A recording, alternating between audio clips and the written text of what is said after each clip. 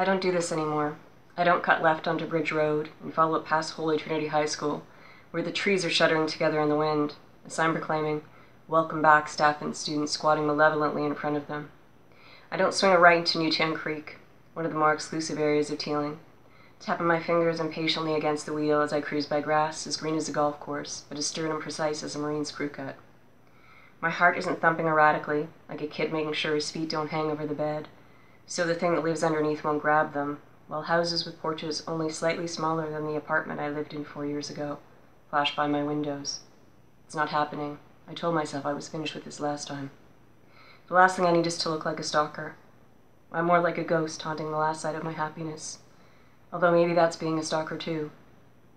Meanwhile, the sky overhead is a ceiling of unbroken black, moonless and starless, the same as if there were nothing up there. But I know better.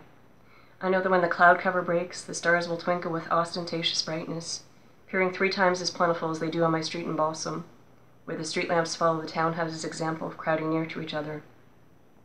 Memories of the glittering Newtown Creek sky, and other useless things, close in on me while I approach the Mahajan house, the sick feeling in my stomach creeping up my throat in slow motion as I take my foot off the gas. My neck swivels to the right, my gaze darting beyond the cobblestone post with the address 288 Margate Avenue etched neatly into it to focus on the Mahajan's wide, shapely driveway. Single car is parked on the far left, under a maple tree. A muddy white Kia Rio that I spotted occupying the same space about five weeks ago. Mr. Mahajan drives a silver Nissan Infiniti.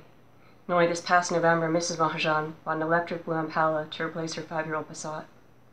Tomby doesn't care what kind of car she drives, but her parents gave her a Subaru Legacy is it had a driver death rate of zero on a highway safety study.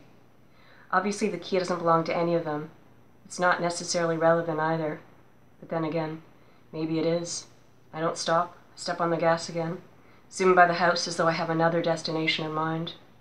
The tall trees of Newtown Creek are swaying anxiously around me. Shrubbery and the occupants of flower beds shaking with such force that they look like they'd appreciate a coat or a blanket.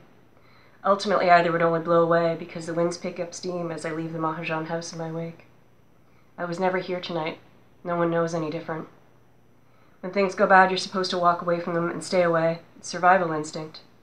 You don't poke around in the mess, dragging your hands through it like a four with finger paint. You don't stomp through it, getting it on your shoes and trailing it around after you, leaving permanent stains. It really shouldn't matter who the white Kia belongs to. I'm gone.